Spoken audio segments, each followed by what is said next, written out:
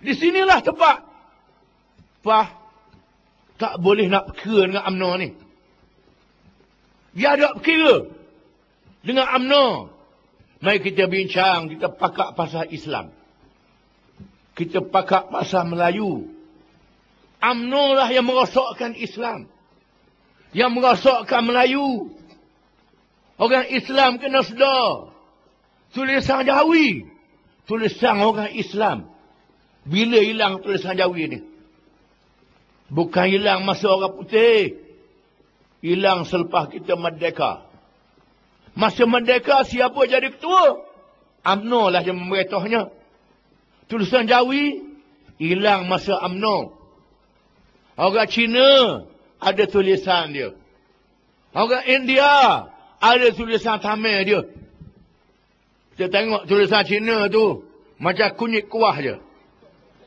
Tulisan Tamil macam akar puyuk ke. Dia boleh baca. Ada tulisan dia. Tulisan kita apa? Mana tulisan kita? Hilang tulisan Jawi. Bila hilang? Masa UMNO memerintah. Selepas kita merdeka.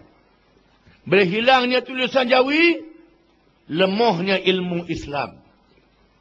Menyebabkan orang Melayu lemah dalam ilmu Islam. Kurang dalam ilmu Islam. Bila lemah Islam, jadi lemahlah orang Melayu. Tak boleh nak tunjuk contoh dan tuladan kepada orang yang bukan Islam. Bak Melayu. Hilangnya Melayu di Singapura. Hilangnya Melayu di Pulau Pinang. Siapa yang meretah Singapura? UMNO. Yang meretah Pulau Pinang dia? UMNO. Bukan PAH meretah Singapura. Bukan PAH mengetah Pulau Pinang. UMNO yang menjadi ketua menteri Singapura tahun 60-an. Datuk Hamid Jumat. Nama ketua menteri Singapura. Lepas tu, orang Melayu lemah di Singapura. UMNO ajar orang Melayu Singapura bila mengundi pilih wakil rakyat yang bagi pitih. Lee Kuan Yew ajar rakyat Singapura Orang Cina pilih pemimpin yang bijak. Pemimpin yang pandai. Bukan pemimpin yang rasuah yang bagi duit.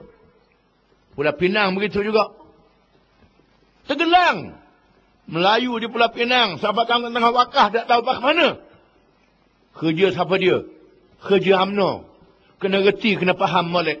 Jangan duduk ngaji dengan TV3 RTM je. Dengan tulisan Malaysia dengan berita harian. Surat khabar Cina, surat khabar Tamil, surat khabar bahasa Inggeris. Mencerdikkan rakyat. Surat khabar Melayu, membodohkan orang Melayu. Kena faham molek.